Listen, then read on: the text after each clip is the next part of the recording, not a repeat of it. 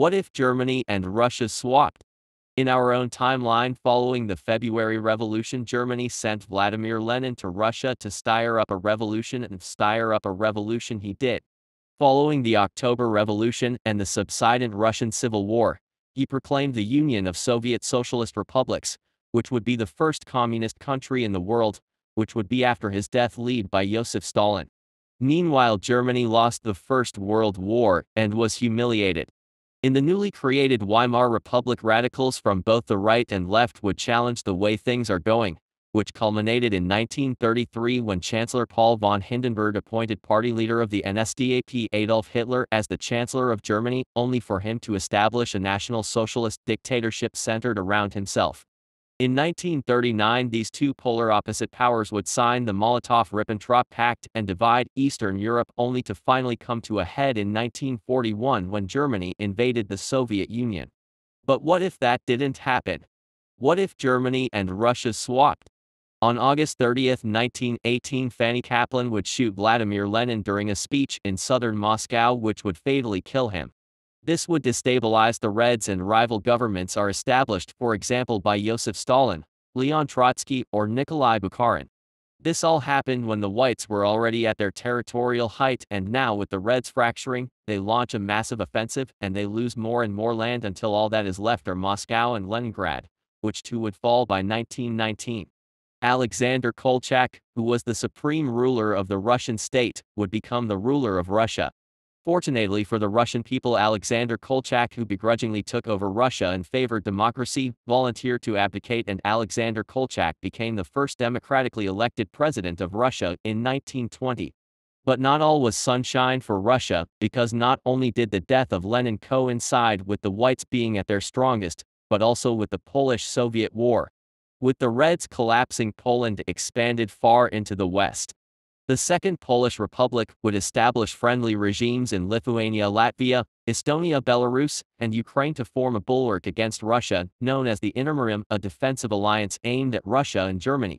Speaking of the devil, in Germany the Spartacist uprising is more of a success, and would be known as the January Revolution. Following the January Revolution a civil war would engulf the nation, the communists are led by Karl Liebknecht and Rosa Luxemburg, whereas the anti-communists or whites are led by Prince Max von Baden and Friedrich Ebert later Paul von Hindenburg. The communists are especially strong in the cities, while the anti-communists are strong in rural areas. At first it seemed like the anti-communists are going to win, but this would quickly change and by the end of 1923 it is the communists who are victorious. The anti-communists would flee to East Prussia where they established the Königsberg Republic. In its first election the monarchist DNVP became the biggest party and formed a coalition with the NSFP and WP. Similar to the NSDAP in our own timeline the DNVP under Oskar Hergt would start to degrade democracy, which was amplified with the integration of Paul von Hindenburg as chancellor. Together with help from the German People's Party and the Center Party, the Enabling Act was passed and soon thereafter the monarchy was restored under Wilhelm II. In Germany proper Karl Liebknecht becomes General Secretary of the Communist Party. Unlike Stalin however he is more moderate and less authoritarian. He would however denounce the Treaty of Versailles and soon thereafter rebuilt the German army. During the Civil War Upper Silesia voted to join Poland for fears of communist takeover. While the Communists took over Germany, France established the Rhenish Republic in the Palatinate and Rhine province as a buffer against the Communists. Given that this Germany started to violate the Treaty of Versailles 10 years earlier, its army is better than it was in our own timeline. In Mongolia after the Bogdi Khan died, Roman von Ungern Sternberg became ruler of Mongolia, and he ruled with an iron fist. In 1924 Alexander Kerensky would win re-election but especially in his second term the problems Russia faces are getting worse.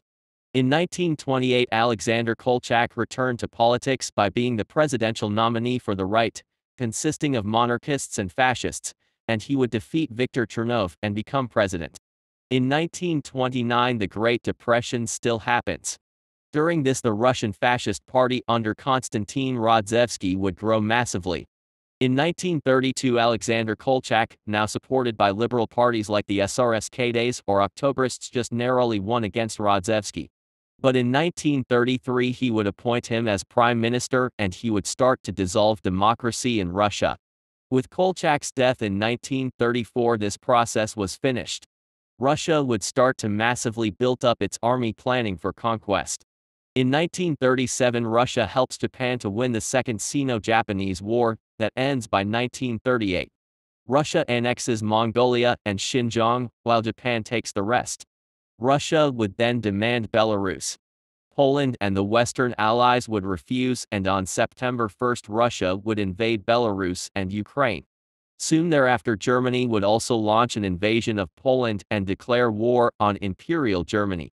Finland, Czechoslovakia and Romania would slow be dragged into the war and even though they hoped for French help they just remained at the Maginot Line. Eventually Eastern Europe would fall to Germany and Russia who partition it.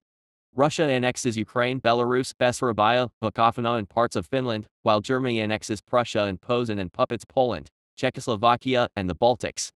Germany would then successfully conquer France and the Benelux, followed by Austria.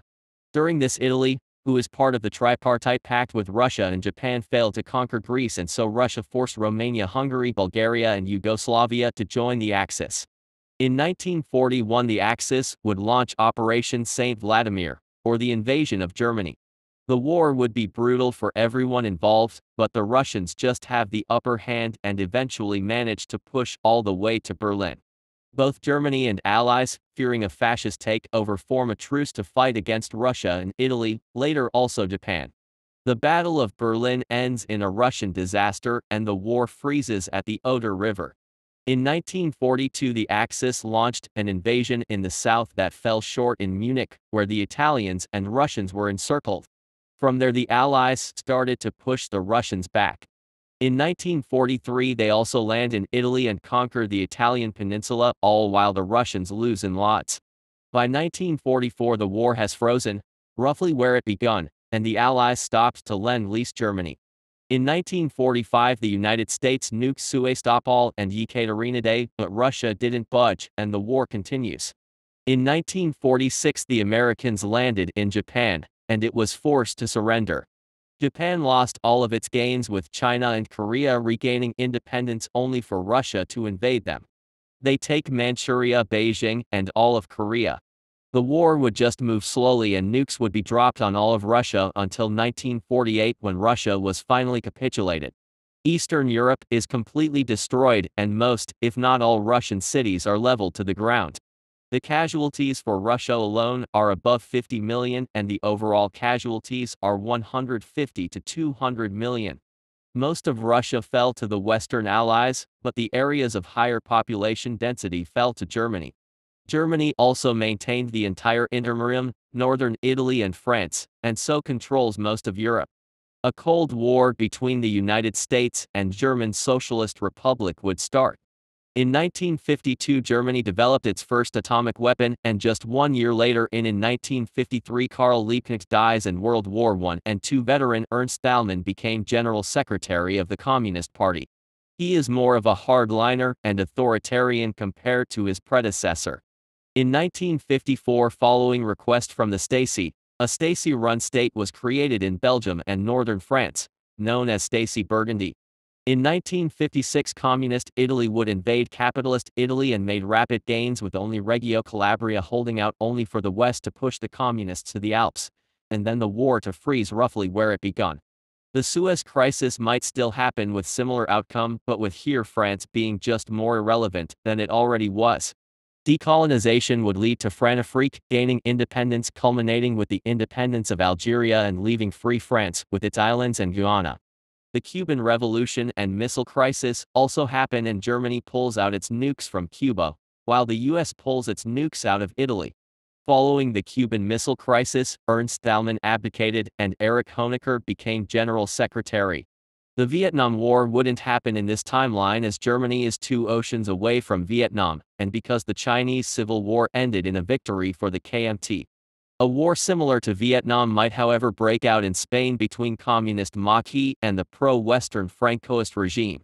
Giving the theme of the video, the United States would eventually be forced to withdraw, leading to a communist victory. In 1985 Honecker was killed and Egon Krenz became general secretary, and under him Germany liberalized and opened up. He ended the Cold War with the United States, and the German satellites became independent with East and West Russia reuniting. His reforms made him enemies and lead to a coup attempt in 1991 that was stopped by Helmut Schmidt. From there the German Socialist Republic collapsed into its sovereign states of whom the biggest was Prussia. Prussia did find itself at the Frisian War, which it would lose only for it under Lutz Heilmann to retake the region. In the Prussian-Hessian War in 2008 it would also take control over the northern portion. In 2014 Prussia would take the east bank of the Rhine from the Rhenish Republic only to invade it in 2022. Meanwhile the Eurasian Union and Northern Treaty Organization would grow massively and Russia, now having the third biggest economy in the world would support the Rhenish Republic in its war. In this timeline fascist Russia loses THR Second World War and gets partitioned only to then become a shining example of European democracy, while communist Germany would challenge the United States in the Cold War only for it to collapse and Prussia to become the new threat to European peace. If you liked the episode, leave a like, and don't forget to subscribe. Goodbye.